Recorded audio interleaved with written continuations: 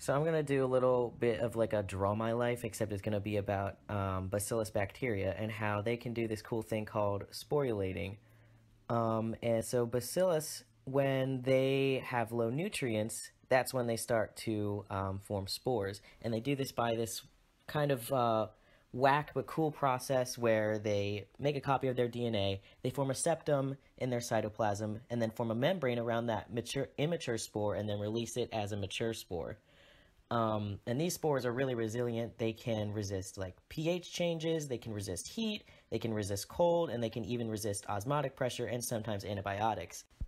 They can also eventually return to their regular cell state. Spores actually help the human immune system because they can bind to immune lymphocytes and cause them to actually reproduce and then bolster the immune system. But they're also kind of dangerous because some most antibiotics actually target the living cells and they don't really know what to do with spores.